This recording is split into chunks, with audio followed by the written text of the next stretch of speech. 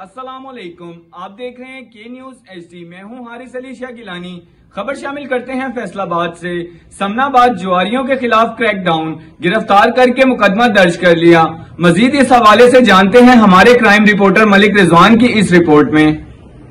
थाना समनाबाद का मंशियात और जवारियों के खिलाफ क्रैकडाउन जारी जिसमें थमनाबाद के मुख्तलिफ़ इलाकों में जुए के अड्डों पर छापा मारा गया। छापे में मुजमान ताखर अजाज माजद और मौसम वगैरह जुआ खेलते गिरफ़्तार। दाव पर रखी रकम पंद्रह हज़ार तीन सौ बीस रुपये बरामद कर ली गई। मोबाइल फ़ोन बरामद कर लिए गए। मुकदमा दर्ज करके मजीद तफ्तीश का आगाज़ कर दिया गया।